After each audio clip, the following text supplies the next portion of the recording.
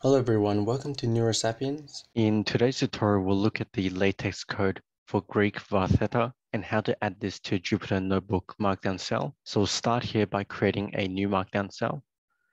And here we'll add in vartheta, followed by the latex code, which is a backslash, followed by lowercase v, a, r, t, h, e, t, a. So vartheta. And to actually show this, we need to add $2 symbols before the latex code as well as $2 symbols after the latex code. So now when we run this cell, we have the Greek vartheta here centered in the center of the Jupyter Notebook Markdown cell. So this is how to add the Greek vartheta to Jupyter Notebook Markdown cell using latex code. If you found this tutorial helpful, please give it a thumbs up, subscribe and click the notification bell for weekly videos. Please share the video with anyone who you think would benefit from the content and comment below what topics you would like to learn.